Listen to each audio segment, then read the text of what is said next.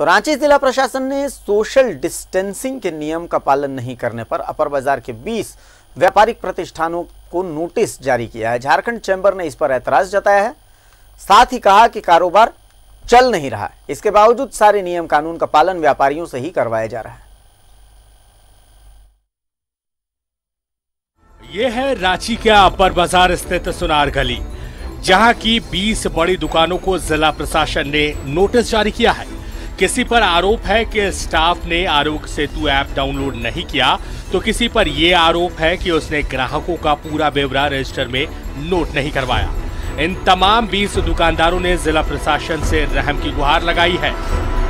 आरोग्य सेतु के लिए और वो कस्टमर का फुल एड्रेस के लिए, कि कस्टमर का प्रॉपर फुल एड्रेस होना चाहिए।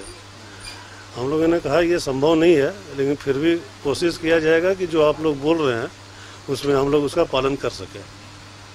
आसान है क्या इतना? आसान तो नहीं है लेकिन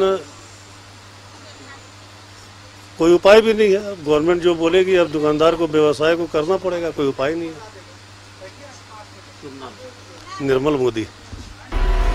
झारखंड चैंबर ने भी व्यापारियों को दिए गए नोटिस पर कुछ शर्तों पर ऐतराज जताया है और कहा है कोविड संक्रमण के कारण कारोबार चल नहीं रहा प्रशासन सारी शक्ति व्यापारी प्रतिष्ठानों पर ही बरत रहा है। जिस तरह हम देख रहे हैं कि छोटे छोटे क्लॉज आरोग्य सोती ऐप रजिस्टर नहीं मेंटेन करने के कारण बड़े बड़े प्रतिष्ठानों को सील कर दिया जा रहा है। तो सरकार को देखना होगा कि हमेशा व्यापारी ही सॉफ्ट टारगेट नहीं रहे। हर व्यक्ति जो आज रोड पे भी लोग चल रहे हैं, वो भी सोशल डिस्टेंसिंग का पालन करें मास्क पहने। तो इसमें जो पर्पस है, वो सॉल्व होना चाहिए कि कोरोना नहीं बढ़े।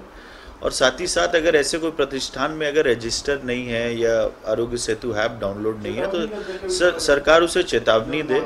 और हम कभी पक्षधार नहीं है कि जो लोग इसको फॉलो नहीं कर रहे हैं उनको आप बख्श दीजिए। इससे पहले भी रांची में नियमों के उल्लंघन को लेकर कई प्रतिष्ठानों को सील किया गया है जिनमें कई होटल और रेस्टोरेंट भी शामिल हैं। चैम्बर ऑफ़ कॉमर्स का कहना है कि इन हालात में दुकानों को सील नहीं किया जाना चाहिए बल्कि उचित जुर्माना का प्रावधान होना चाहिए। कैमरामैन राजा के साथ शहनवाज अख्तर न्यूजीलैंड भारत रांची।